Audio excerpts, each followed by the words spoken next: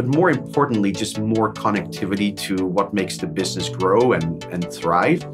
I just don't think that BPO has, has found that unlock yet.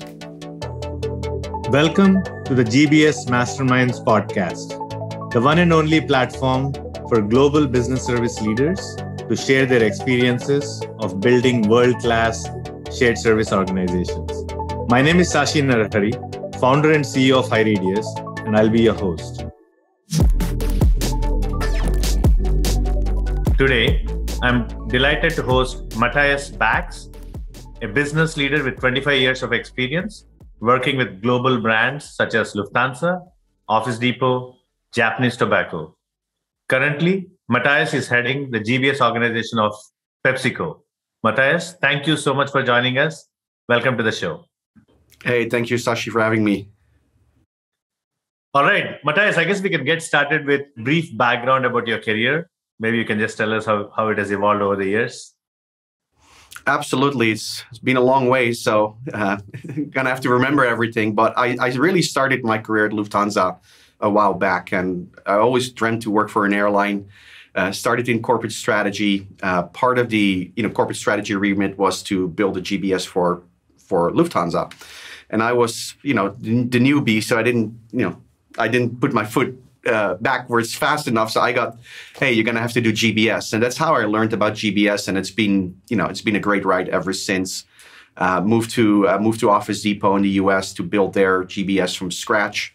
Uh, then moved to Japan Tobacco to inherit, you know, their GBS organization and and improve it. And then lately, uh, you know, start building the GBS organization for PepsiCo.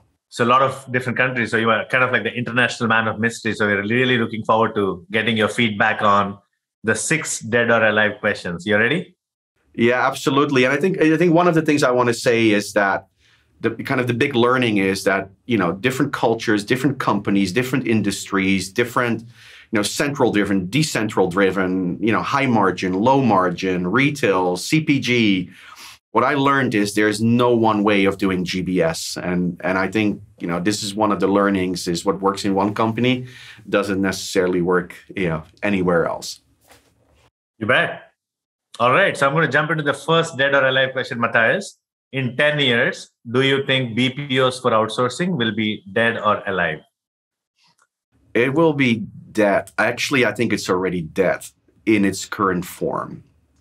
Look, I think that the, the whole model of bums in seats, you know, how many headcounts, doing stuff, and, and kind of maintaining that is just an outdated concept. I want to talk about value. I want to talk about digital products. I want to talk about improvements, user experiences.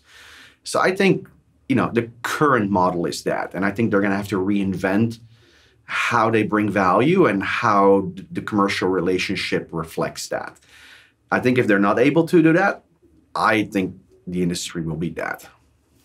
Understood. So it's almost like the labor cost arbitrage play has been done by most um, companies, and that was the core business model for the BPO companies, and uh, they cannot just do that to survive. So they need to kind of shift into what next would happen, right? What you do is you rebase your cost once and it gives you probably three to five years of of grace period, right? But then what? And I just see in general that executives and business leaders, with all the digital transformation that's happening around them, they are looking for this unit to give them just a better experience, an even better cost, right? But more importantly, just more connectivity to what makes the business grow and, and thrive. I just don't think that BPO has has found that unlock yet. Got it. Makes sense. All right, we'll go to the next question. This is around physical service centers, Mattijs. In 10 years, will large centralized service centers be dead or alive?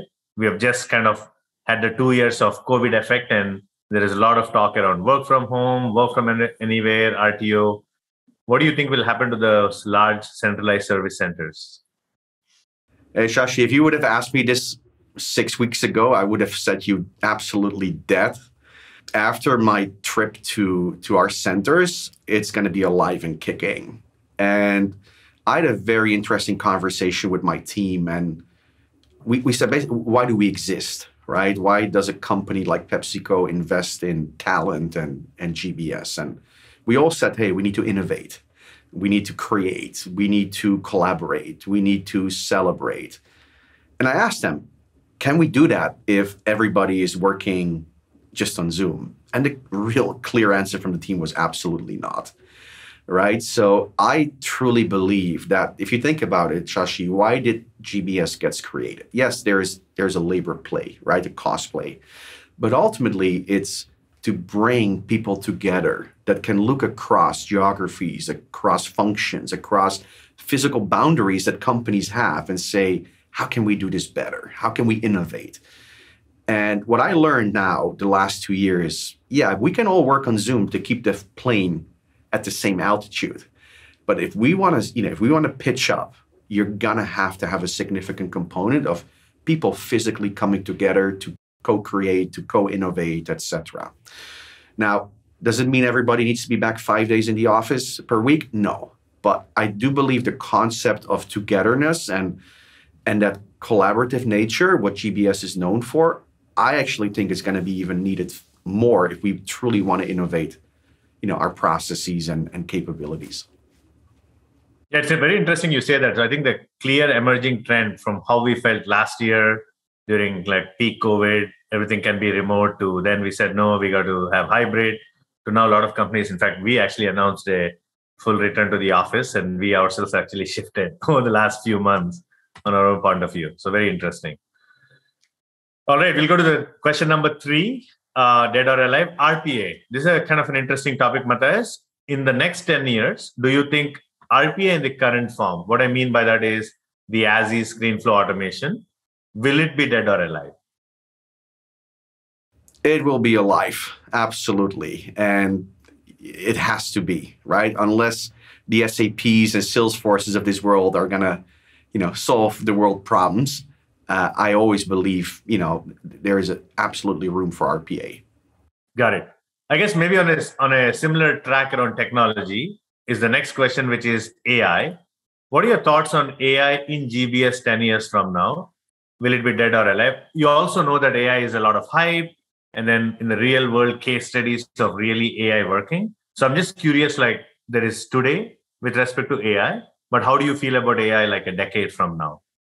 It's very much alive, Shashi, and, and it's like RPA as well, right? Because ultimately, if we want to truly digitize end to end user experiences, we're looking at that at PepsiCo at the moment, right? Like the employee experience.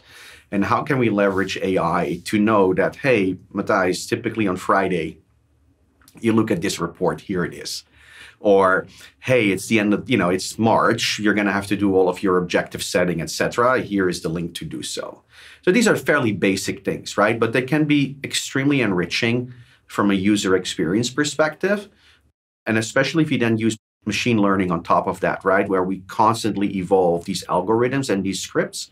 I truly believe that coming back to the RPA question, you cannot solve that at the ERP layer. I think they have a different purpose, right? They're the engine. They're they're important in themselves from a system of record perspective, but you know, there's no one system of records. So you need to have that orchestration layer, RPA, AI, machine learning, you know, chatbots. The one thing I would say though, Shashi, what what I always, you know, I'm very keen on, it's not about the technology. The technology is there, right? It's about how do you create content? How do you deal with your data?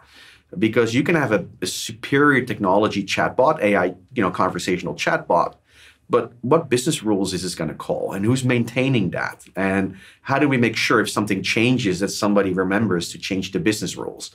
So i think this is where we put a lot of our bets and our investments. Technology wise you know pepsico and, and our cio cto they've done a fantastic job building the technology stack.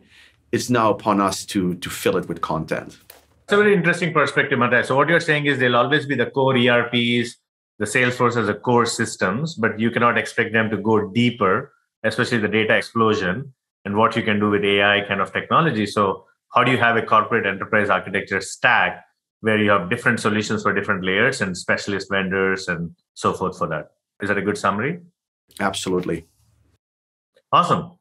Next question is actually switching topics. It's kind of related to the labor arbitrage question we discussed earlier.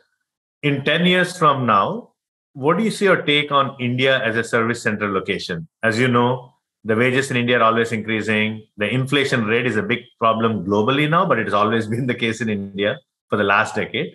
So, do you think if you had to forecast like 10 years from now, India will be a top choice for service center locations or would it be dead? No, I think I think it will absolutely be alive and and thriving because from my perspective, right, GBS is not a it's not a cost play. As I said before, yeah, you can rebase your cost, but it it doesn't excite the company. It doesn't give you longevity. It doesn't give you relevance. It's a one-time play. And I think what India has done extremely well, and I'm I'm very you know impressed by, is just the sheer ecosystem from just the talent that it can provide, the ecosystem around this talent. And yes, I'm sure costs will go up, right? But it just means that that talent needs to automate more and needs to provide more value in different areas. And you know, we have super good experiences in India with you know being able to attract top talent, like like in other parts of the world that we operate in but to really help us drive that next level of innovation of our processes and capabilities. So yeah, the, I think the labor increases will be more than offset by by incremental value that this you know great talent pool will provide. Got it. And that brings us to the next question, which is maybe a, the hardest one for you since you're a GBS leader. What do you think about the fate of GBS itself? In 10 years from now, will GBS as an organization be dead or alive? All right, context is going to be very important, but I will say it's going to be debt.